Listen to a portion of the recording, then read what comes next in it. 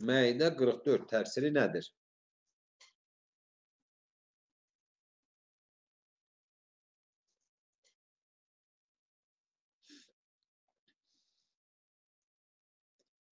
Meyde 44.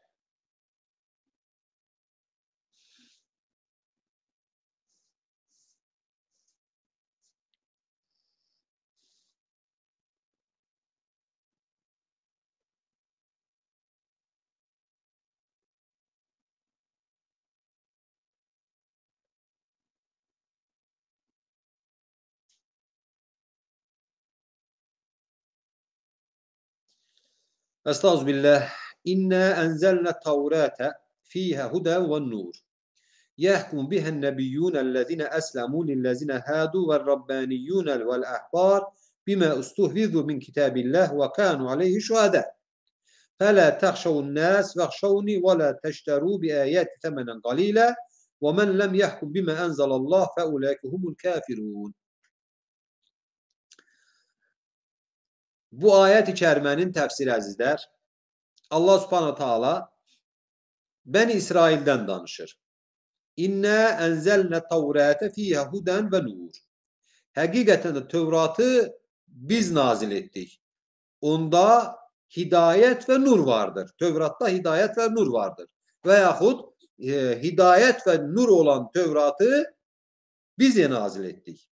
Yehkumu bihen nebiyyun ellezine eslemu lillezine hadu والربانيون والأحبار بما استحفظوا من كتاب الله وكانوا عليه şuhada. Həmin Tövratla nəbilər hökm verər. Kimdir o nəbilər? Əlləzinə əsləmu lilləzinə hədu Yəni, İslam üzrə olan, İslamı təbliğ edən peyğəmbərlər, təslim olan peyğəmbərlər, Musa aleyhisselamdan sonra gələn nəbilər, peyğəmbərlər, Bən İsrail nəbiləri, Yuşa ibn Nun məsələn onlardandır. Daniel aleyhisselam onlardandır. Süleyman aleyhisselam, digər Bən İsrail peyğəmbərləri. Tövratla hökm edirdilər. Kimə? Lillezine hadu Bəni İsrail övladlarına. Və Rabbaniyyun və Rabbani insanlar, Rabbani alimlər yəni. Vel ehbar bu da yine ben İsrail alimleridir. Bime ustuhvizu min kitabillah. Allah'ın kitabından okuduklarına yani e, ben İsrail peygamberlerinden sonra e, ben İsrail'de olan ehbarlar, rahipler, e, din adamları falanlar ben İsrail'in rehberleri, peygamberlerden sonraki rehberleri. Tevrat'taki hidayet ve nurla hüküm eləyərdiler. Ve kanu aleyhi şuhada ve ona da şahit idiler.